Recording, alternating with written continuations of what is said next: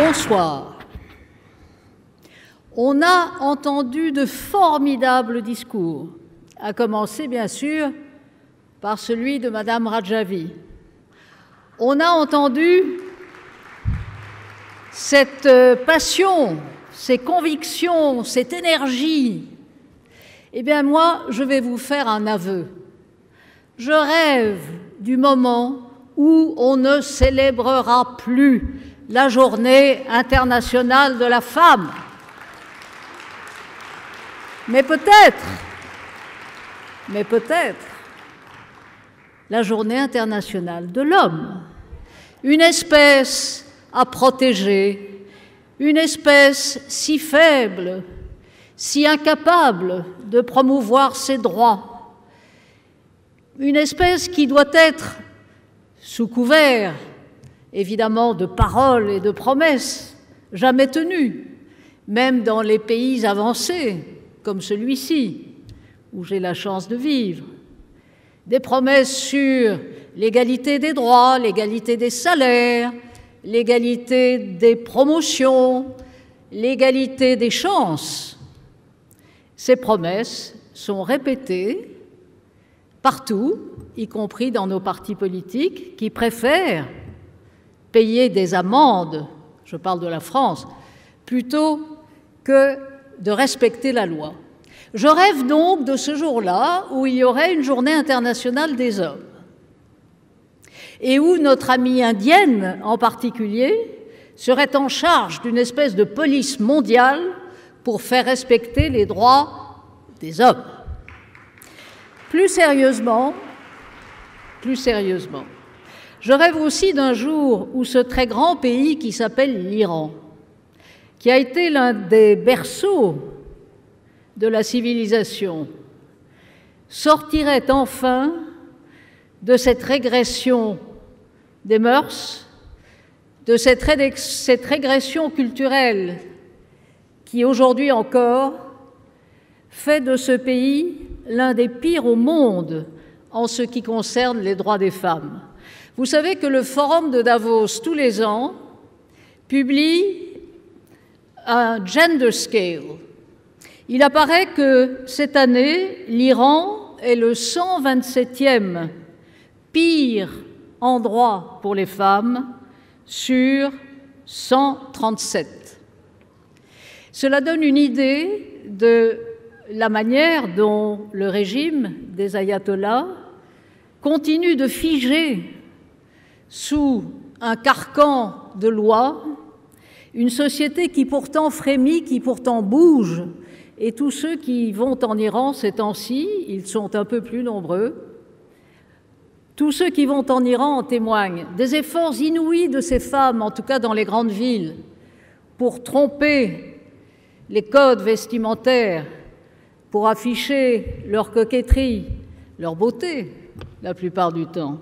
Mais c'est encore un pays où la loi dit que les filles peuvent être mariées dès l'âge de 9 ans. C'est encore un pays où le témoignage d'une femme devant un tribunal vaut la moitié du témoignage d'un homme. C'est encore un pays où une femme hérite de la moitié des avoirs par rapport à un homme. C'est encore un pays qui correspond, où le statut des femmes correspond à ce que l'un des ayatollahs, je crois qu'il s'appelait Yazdi, si ma mémoire est bonne, il fut trop longtemps en charge de la justice ou de ce qui en tint lieu.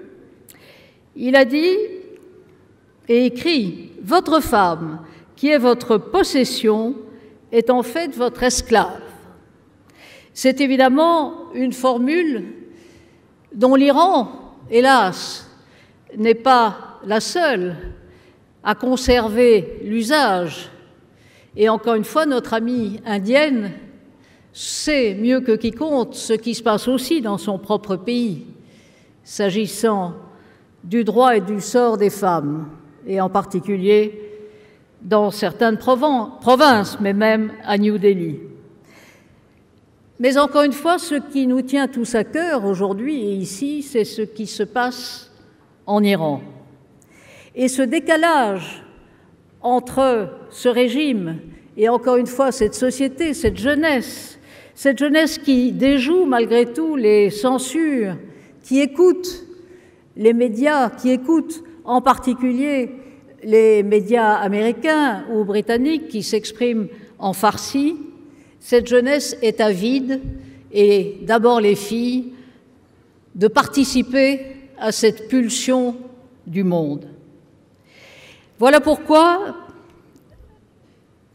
cette réunion, voulue par Madame Rajavi tous les ans, est tellement utile parce qu'il est important, encore une fois, que les messages qui sont exprimés ici encouragent tous ceux qui, là-bas, et bien sûr dans le camp Liberty et le camp Ashraf, poursuivent leur combat. Aujourd'hui, les femmes sont toujours interdites d'accès au stade de football en Iran. Eh bien, sachez qu'aujourd'hui même, ce samedi, la International Football Association a décrété que le port du voile dans les matchs de foot était autorisé.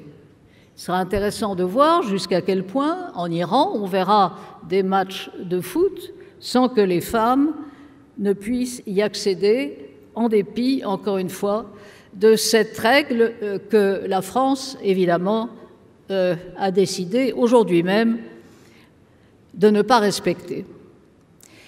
Pour conclure et pour respecter les encouragements de notre animatrice à tenir les délais, je me rappelle de ce que m'a raconté il y a plusieurs années déjà une très chère amie iranienne. Son prénom était Mariam.